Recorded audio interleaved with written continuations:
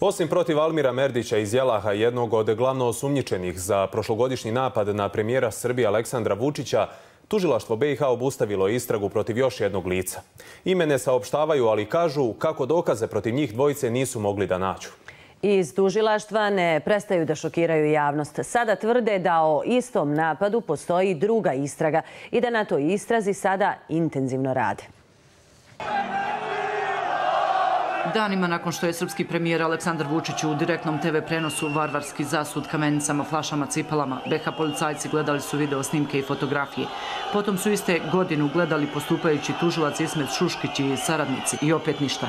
Almira Merdića i družinu sa zamahnutim rukama i kamenicama u njima sa snimaka su prepoznavali novinari, a za Šuškića i BH tužilaštvo dokaza nema pa nema.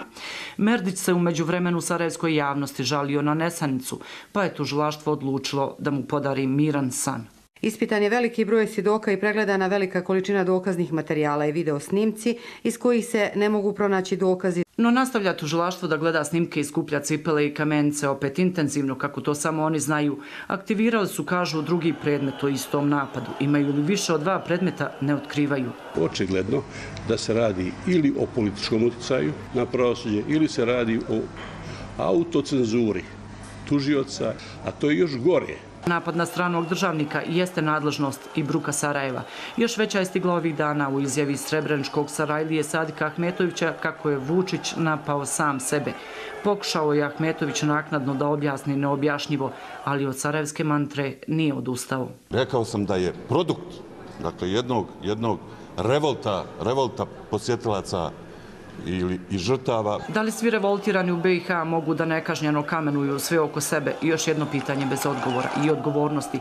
Nije prethodno bilo ni u brojnim namjernim ili slučajnim propustima policijskih agencija koje su skupo bezbeđivale. Sve je snimljeno i zadokumentovano, ali slaba vajda kad BiH tužilaštvo nema dokaza.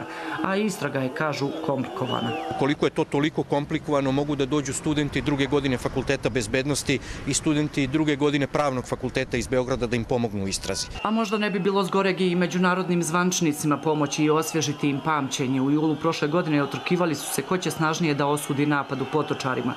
Horski ponavljali kako krivci moraju da budu kažnjeni. Nakon 14 mjeseci virtualne istrage, njihov gromoglasan muk, pa i to valjda dovoljno govori.